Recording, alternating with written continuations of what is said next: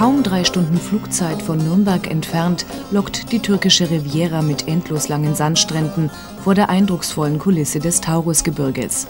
Wasserfälle ergießen sich direkt ins Meer und in der nahen Umgebung zeugt eine Vielzahl beeindruckender archäologischer Stätten von der geschichtlichen Bedeutung dieser Region.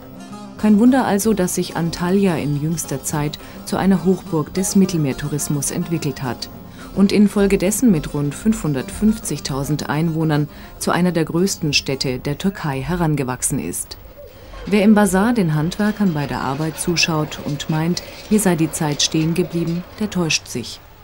In Antalya stehen die Weichen längst auf Zukunft. Die Stadt ist dabei, auch geistig-kultureller Mittelpunkt der Südtürkei zu werden.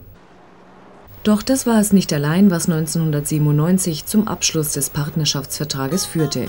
Mit rund 25.000 Menschen stellen die türkischen Staatsangehörigen die nach den Deutschen am stärksten vertretene Nationalität in Nürnberg dar.